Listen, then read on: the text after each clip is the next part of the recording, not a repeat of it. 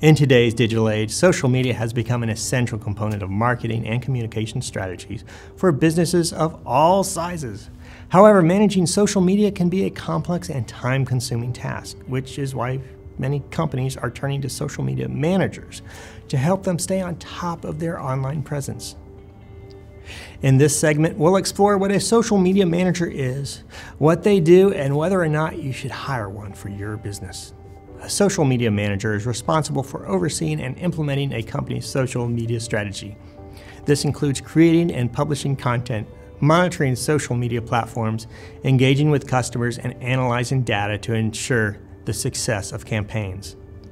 Social media managers are also responsible for staying up to date with the latest social media trends and algorithms, as well as managing any social media crisis that may arise. The day to day task of a social media manager can vary depending on the company and its social media strategy.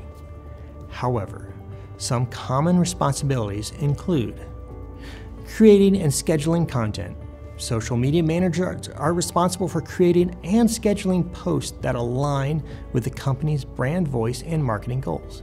This may include creating graphics, writing copy, and finding relevant hashtags. Engaging with customers. Social media managers are the front line for customer service on social media. They are responsible for responding to comments and messages, addressing complaints, and fostering positive relationships with customers. Monitoring analytics. Social media managers track engagement metrics such as likes, comments, shares, and click through rates. They use this data to measure the success of campaigns and make adjustments to their strategy as needed. Staying up to date with social media trends. Social media is consistently evolving, and social media managers need to stay up to date with the latest trends, algorithms, and features.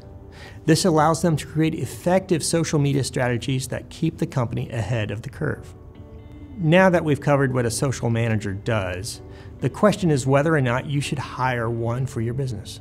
The answer entirely depends on several factors, including the size of your company, your budget, and your social media goals.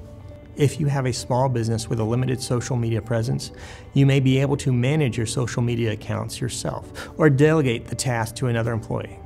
However, as your business grows and your social media presence becomes more complex, a dedicated social media manager may become necessary. If you have the budget to hire a social media manager, it can be a wise investment. Social media managers bring a wealth of expertise to the table, from creating engaging content to analyzing data and staying up to date with the latest trends. By hiring a social media manager, you can ensure that your social media presence is consistent, effective, and aligned with your overall marketing strategy.